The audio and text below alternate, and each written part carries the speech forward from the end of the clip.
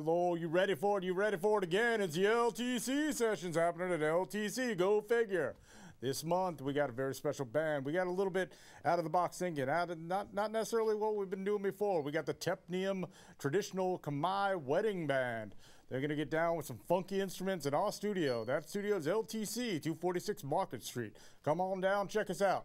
But without further ado, here's the Tepniyum wedding band.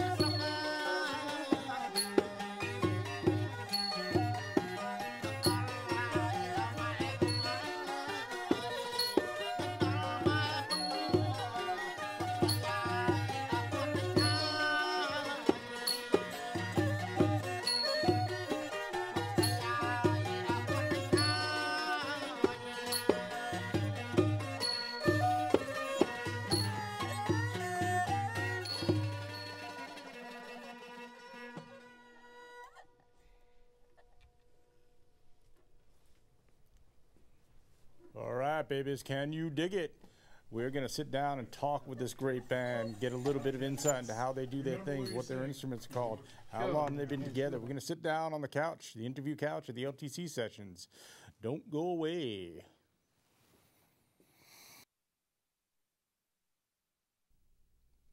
All right, welcome to another edition of the LTC sessions. We're hanging out on the couch with the Tepniyum band. I got Savon Cohn, and who who's your friend here? Uh, Kim Han Mi. And me, and uh, we are hanging out. Uh, so uh, I checked out you guys. You guys are doing great, of course. Uh, these these instruments are blowing my mind. They're, they're very traditional stuff. We shot some uh, footage of you guys in your jam space. Fortunately, the audio didn't come out, but you got some great shots of your instruments. Could you tell them a little bit about the the bowed instruments? Yeah. The bow, the bow instrument is called sao or duong. Okay, it's it's um, it uh, has two strings, uh, as you see, and it's made out of wood, and also python skin, and um, elephant ivory. And that's the resonator, and uh, there's a difference. One's more of a high pitch, and the other one's more of a bassy. You explained to me one's like a guitar, one's like a bass. Yes. Um, um, so the the first string the first string is, is a high pitch string, and the second string is a low pitch string, like a bass, and it's tuned um, A and D. On both of them, they're exactly tuned the same. No, not different. Uh, the first one A, the second one is D. Yeah. Oh, I mean the instruments, because you, you, have two of these instruments. Oh, no, I was playing. talking just one instrument yeah. first. Uh, the second instrument, it's uh, this low pitch instrument, um, and uh, it's made out of coconut shell, and also the the body is made out of wood, and the front uh, part is made out of um, either python skin or um, a piece of plastic, and uh, it has two strings also. All right, cool. And the uh, the multi-stringed instrument, uh, the uh, the one, the, the very large one. Kim. What's that? It's called mm. khim. And that's made out of a jackfruit tree. Is that correct? Yes. And then, uh, it can be uh, made out of jackfruit tree or a hardwood, or you know, uh, there's diff different kind of wood you can make. It made out of a different kind of wood. It doesn't. It doesn't have to be jackfruit tree. Now, how long do these things take to make? That, that looks like a lot of work, especially the inlays. That's uh, well, really um, exquisite work. Right. If if it, if you take time to do it, it takes about a month to make one instrument. That kind of instrument. If you rush and you have everything on hand, uh, it takes about a week. Wow. Yeah. I would not want one of those that took a week to make. I think something would go wrong. Somebody would get hurt. Uh, and what el- what other uh, instruments you're playing today? There's the two uh, the two string, the actually three string, I guess. Yep, uh, two string instrument. The uh, is called sa dro u, and the other instrument are also dake, which uh, we're gonna play tonight. Um, dake uh, uh, shape almost like crocodile. It's named after a crocodile, but it uh, you can play almost like a guitar but it uh, it has a nylon uh, strings, two st uh, three strings, and um, carved with the uh, bones embedded, and it has frets, almost like guitar, but it but higher than guitar. And what else you want? And there's no there's no fingerboard necessarily, or just an air space between the frets. So yes. you could do you do any like microtones by pressing harder? or is there any kind of subtlety like that, or just on or off? On or off, yeah. All right, and uh, you're using percussion, little bell type gong, small. Oh, ching, chop ching, ching. chop ching, chop ching. Yeah, that's too. Sounds uh, kind of like yeah, the name sounds like what it is. Um, basically, it does a rhythm for the band. Yeah, yeah. and everybody keeps time to that. Yeah, oh yeah, yeah. Uh, yeah, it's just an amazing. I was talking to somebody over the weekend, like why Western music is so in that scale is because the birds we have of Northern Europe only make tones that you can hear within that certain spectrum, whereas there are lot more birds in the East, where that was their their interpretation of it. And I thought that was a very interesting thing that we're stealing from nature, the tones that we can hear and appreciate and put together for music. Yeah. Uh, you guys are now. You guys are traditionally a wedding band, Yes. and you, you seem a little more formal than uh, most wedding bands you hire to do hits of the '80s. And so when you show up, it seems we have some footage. We have some footage. Do we have that ready to play?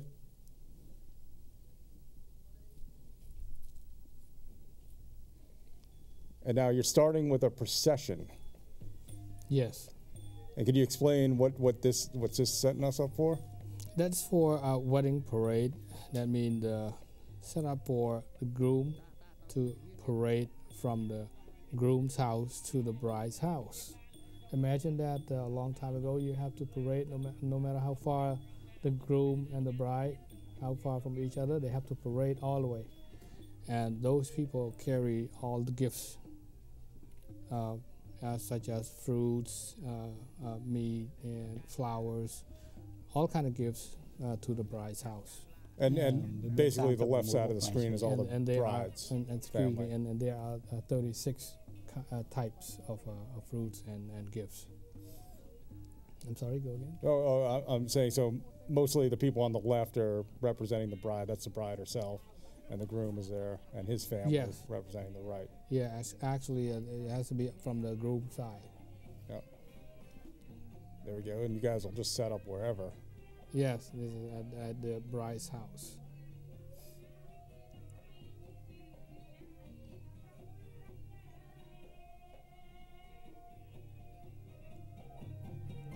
All right, cool. We're finally getting on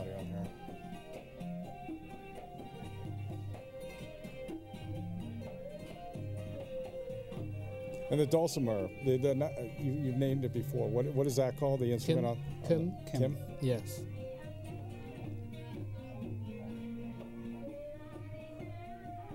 And is this still the pre-ceremony, or what phase of the wedding are we in now? Now is um, like to the middle of the wedding. It's it's called hair cutting ceremony. Oh yeah, yeah, yeah. You told me about that. Yes. So what it means is that um, it representing it to whatever happened before. If you are not so pure, to cut the hair, that means to cut away the sins, cut away something that's bad happened before. So uh, Okay, start can we, can we pause it there? I just want to talk.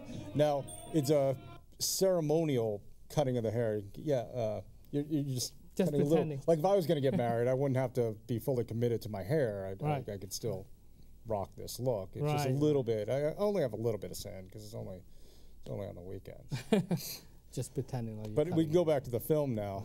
Uh, oh, guy's got a sword. Cut a sword. Okay. Right.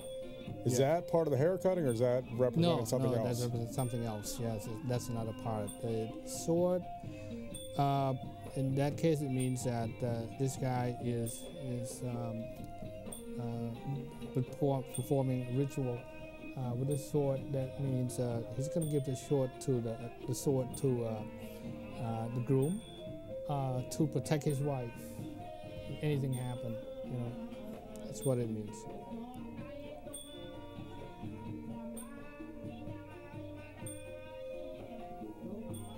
នៅពួកដាវហ្នឹងគេតំណាងឲ្យធាតរបស់ឪពុកហើយអាស្រមហ្នឹងតំណាងឲ្យម្ដាយ Yeah, ពីរ if- ហ្នឹង if- គុំចូលទីទៀត Yeah. ពីរហ្នឹងគឺគុំចូលគ្នាដូចចឹង Yeah, if, if you go in more detailed, uh, um, that al- also has the the cover, the, the sword uh, sheath.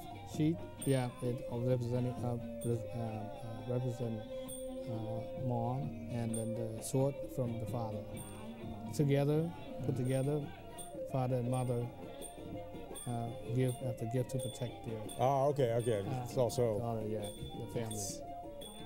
we got some people getting down. Yeah, and this is the end of the ceremony. So uh, we're supposed to make everybody happy. So we play, we play the uh, modern song for them to dance.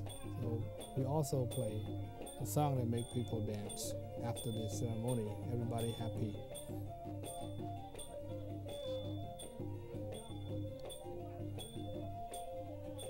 Now they're moving around a circle. I can't you Yeah, can't yeah. really gauge Circle. by this Because it's shot. so crowded and a small room, yeah. you can't really see much. But it's supposed to be a circle dance, dance in a circle.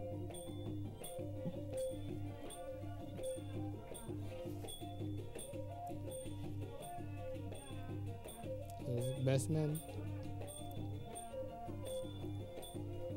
Now this is uh, a lot of the uh, it's not just the uh, the grooms the groomsmen that are dressed up so fine and then the the wife's equivalent the wife uh, the bridesmaids if you will Yes, yeah. or is everybody showing up No, it's just the uh, actually um, only best man, bridesmaids, groom, and the bride dress up um, with the traditional wedding outfits.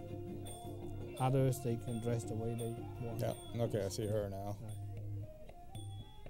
Wow that was great we had that set on a loop so it's, it's all starting again All But right. yeah, and I also want to point out, not only is uh, Savan uh, leader of the wedding band, but he's also in charge of the videography. So we want to thank you for bringing that footage in. And uh, I just want to thank uh, my associate Steve. 'cause Savon brought us three DVDs, and it turned out to be eight hours of footage. This will give you an idea. It's a That's how long- two-day How long the wedding will last? Wow. So Savan is if you're planning a traditional uh, Cambodian wedding, he would be the guy to talk to. Not advocating in a sale sort of way because we don't do that on LTC, and Maximus Sack does not break the rules. But if you want to, we'll we'll flash your information up on the screen if people do want to get in touch with you for those uh, that Sure. informational thing. Sure. Um, sure, we can make that happen. Thank you. So uh, I think I think we're a little bit overdue. We had a what we do is we take a little bit of break from the music. We're gonna go on back and uh, check these guys uh, check these guys out again, uh, playing their traditional music. So on behalf of uh, LTC, I'm Maximus Sack, and this is the Tepniyum Band or or the representatives of the Tepniyum Band playing tonight, and uh, we're just gonna get back to it and let them do their thing. Thank you, thank you, Thank you. gentlemen. Thank you.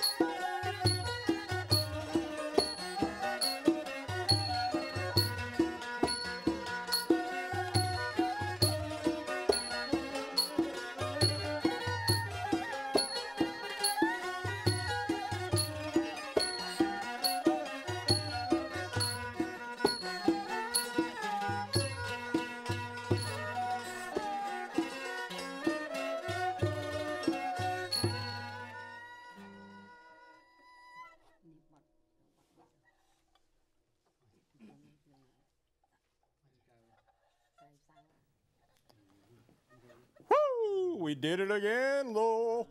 We had another LTC sessions. This time a little out of the box, a little different, a little uh, little more traditional, getting back to the roots music of Cambodia. We were with the Tepniyum Wedding Band. I want to thank my crew in the studio. I want to thank Steve Bickford on camera. I want to thank Matt George is on camera. I want to thank Dan Santorius for whatever he did, and I want to thank Aaron King for helping out. I want to thank the uh, sound guy. It's- his name is uh, Patrick Meany. I want to thank Fuse for hosting our viewing party. I am Maximus Sack, and I want to give the biggest shout out thank you to Tepniyum Wedding Band from Lowell, Massachusetts. They also do some wedding videos too. Keep that in mind.